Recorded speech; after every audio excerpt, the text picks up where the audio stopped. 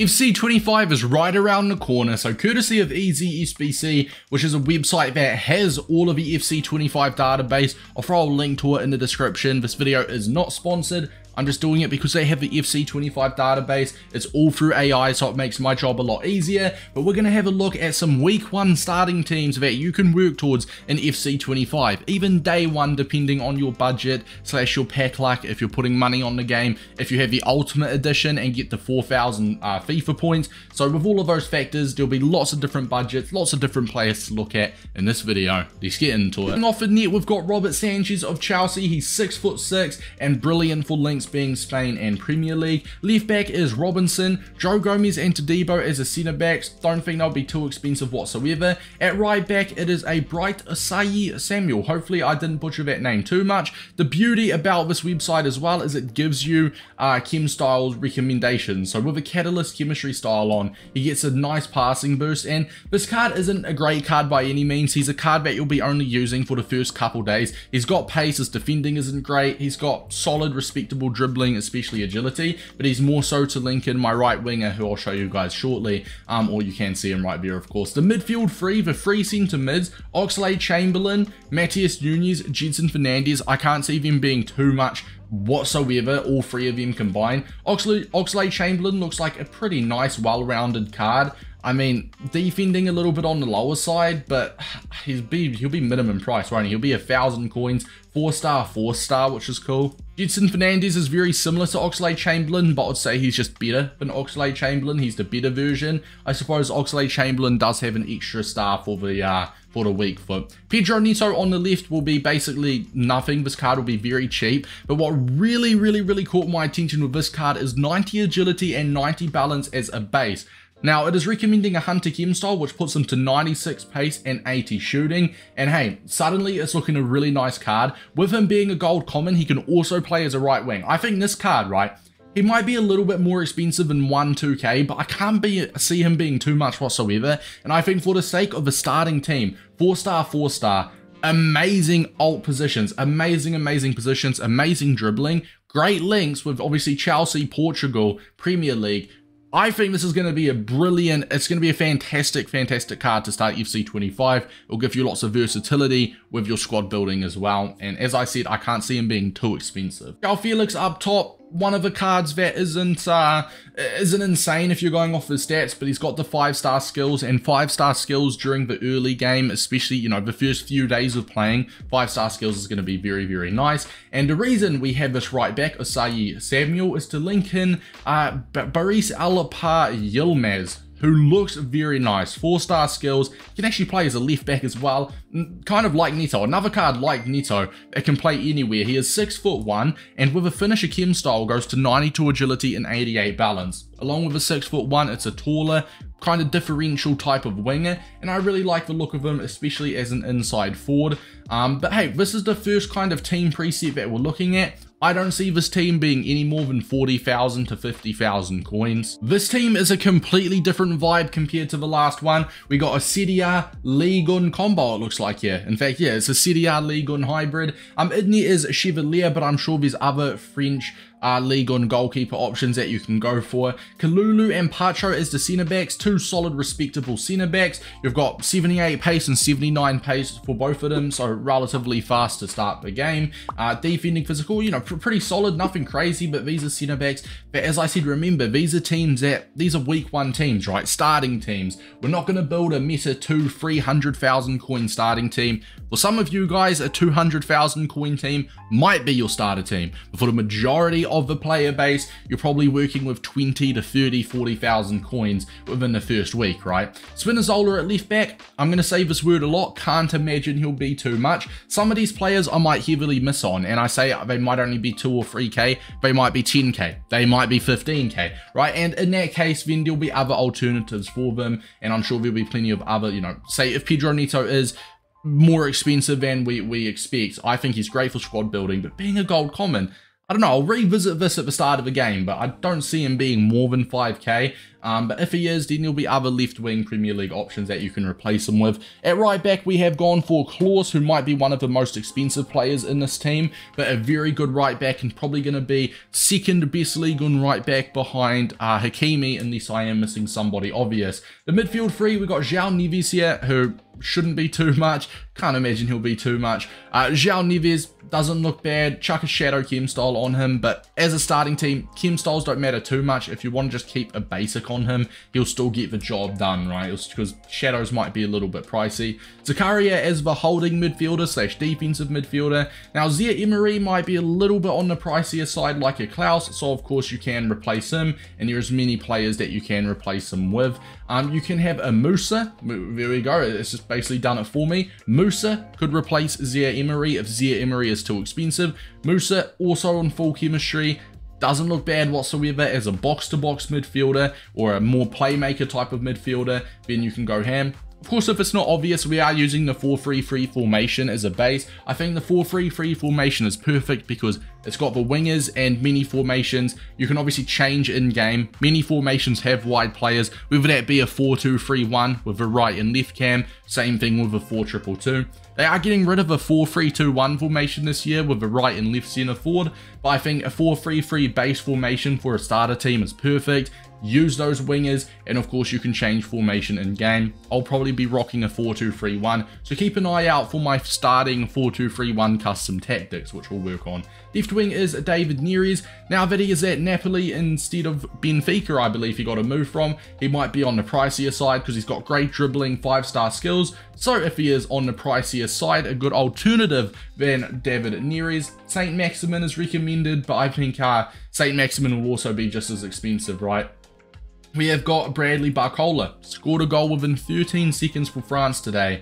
Uh, but as a gold common card, he's got 86 agility. The balance isn't great, but he is 6 foot 1. So he's fast, agile, six foot one. He's got a tall and lean body type. As a winger, I like it a lot, and he won't be too much whatsoever. Okafor up top looks very nice with a finisher Chem style going from 77 shooting to 83 shooting, but his dribbling stats is what really seals the deal with this card. Along with that, the 4-star, 4-star, and look at those alt positions. He can play on the left, he can play as a cam. If you really wanted to, right, and if you were going to say copy this team, you can go for an Okafor on the left-hand side, and then look at another cheap striker up top. Um, Wahi, there we go. You can go for someone like a Wahi of Marseille. Probably a card that won't be incredible, incredible, but at the start of the game, man, I, I think the beauty of the start of a game is as long as I've got like at least 70 pace, respectable shooting, you're going to get some use out of them. You are going to get some use out of them. And can't see Wahi being more than a thousand coins. Same with Okafor. Can't see him being more than a couple K. Politano, who's our right wing, can't see him being expensive. This front three will probably cost a combined 5,000 coins. A brilliant alternative to Politano, in fact, probably a card that I'd rather than Politano, is Samuel Chukwueze. He may only have a two-star weak foot, so he's very predictable with his left foot, but great dribbling stats. I think he's faster than, uh, than Politano. In fact, he's got eight more pace than Politano, and his shooting is maybe not insane, but is going to be a player that you'll be abusing that pace and uh, that, that dribbling with, right? He's not a player you'll be wanting to shoot too much with. He's more of a kind of set it up left stick dribble, left stick dribble, sorry, type of player. But this is the second team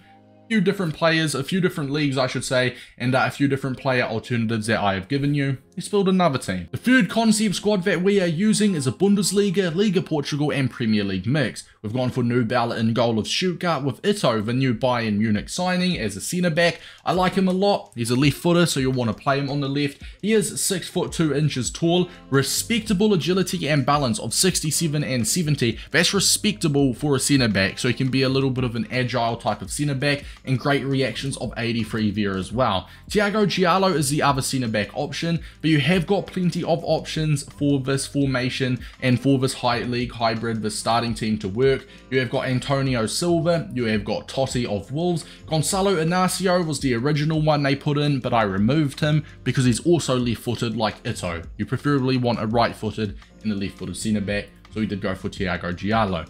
On the left, we have gone for Nuno Santos, who's originally a left mid, but can play as a left back no problem. Not to mention the 5-star skills with Nuno Santos, you'll be wanting to use him in a more advanced role. Right back is Boey of Bayern Munich, who has got I mean, 84 stamina is nice. He's got a strength of 76. You might not be able to see that. It might just be cut off, but he's got 76 strength. Dribbling is nice. Pace is very solid of 82 with a shadow going to 90. A card that's not necessary to use a shadow on, and I think all these cards aren't necessary to buy shadows and hunters. If you have it in the club, go for it. I think Boey is probably the player in this team that will last you the longest you could probably get away with using this Boey card for a week or two, and he may very well be expensive because of French buy-in. He may even be pushing 10,000 coins. I hope not, but if he is, then there is another alternative, and his name is Baku right here. Can't see him being 10% of the price that Boey is, and also a card that is respectable of playing that right back role. Matheus Nunes making another appearance in the midfield.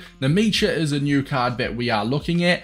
Great well-rounded stats. His lowest stat, disregarding shooting, is 75 or 71 passing. He's also got 75 defending. One more shooting, and he's 70 plus in every stat. So he's one of those cards as a playmaker hey, not bad. You can advance with him a little bit, four-star skills, um, but he can also play as a CDM if you want to play him more defensively. He is six foot four as well, so keep that in mind. You may actually be even better off playing him as the holding midfielder and having Matheus Nunes as your more box-to-box. -box. In fact, uh, Nmecha's rating has gone up as a playmaker, if, if we have a look, you can like look at different roles, right? As a playmaker, he's only 73.7 meta rating. This is all through easy SBC, of course. Um, but as a holding midfielder, yeah, he spikes up all the way. So I'm not sure why they put him in the uh, playmaker role, but at least I'm happy that kind of backed up my point and I wasn't spewing nonsense because he is in fact a lot better as a CDM. Being six foot four, he goes to almost 83 meta rating, and um, I can't imagine him. I'm saying that line again. I can't imagine him being too expensive.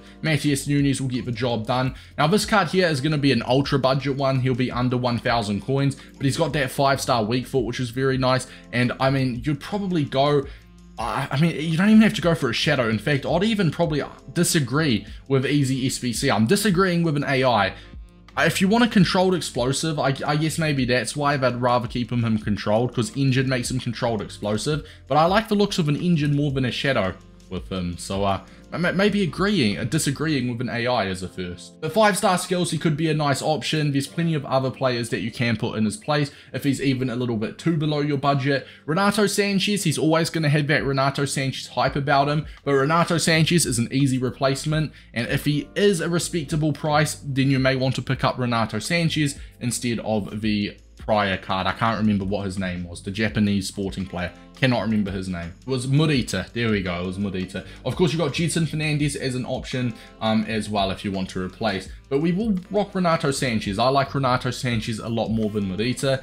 On the left, Pedro Neto obviously making another appearance. Going to be in lots of hybrids, which might, might bring his price up a little bit. Uh, on the right is Bruma, 4-star skills with a 3-star weak foot, great ult positions, 90 agility, 88 balance without a chem style on it, so his left stick dribbling is going to be very nice. Composure of 68 is not ideal, um, he is a right footer as well, so he's one of those ones that's going to be get down the byline, left stick dribble, hope it's not another year of byline. I realize just what I said. I hope it's not another year of byline cutbacks, but in general, he's going to be a more so sideline winger and a cutting in winger is what I'm trying to say. If Tel, 86 pace, 80 shooting, hey, he doesn't look bad. I'd go for a hunter chemistry style. I'd use him more as an inside forward rather than a poacher, but you can use him as a poacher if you want as well. Um, yeah, I mean, six foot, four star, four star, very nice with the Bayern French Bundesliga hype. If he is on the more expensive side, a cheaper alternative uh, could be a Beier of Dortmund, who was a card that I looked at before this video,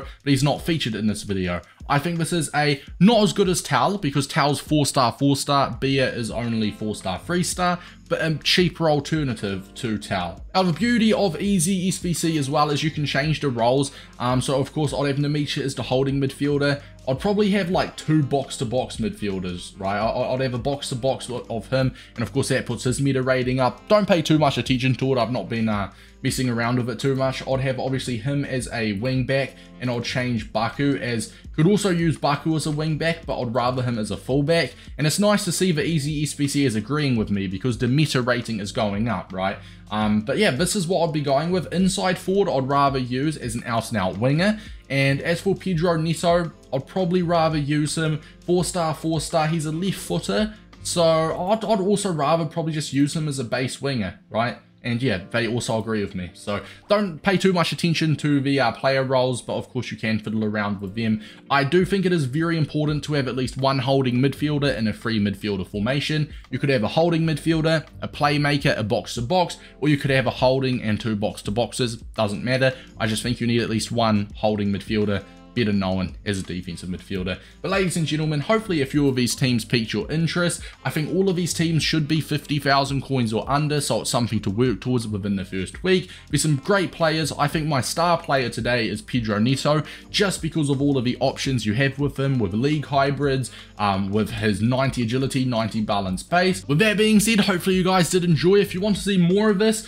um, or maybe league specific, right? So if you want to see just a Liga Portugal starting team, just a Premier League starting team, Bundesliga. We could make lots of videos of it. Just look at cheap Premier League because there's so much more cheap meta players to look at. So if you want to see, as I said, Premier League, La Liga, different league teams, then of course go for it. Let me know down below and we can uh, work towards that before FC25 comes out to give you guys plenty of ideas for the new game. It's been your boy Davis. I'm excited for this year's FC25 content and I'll see you in the next one.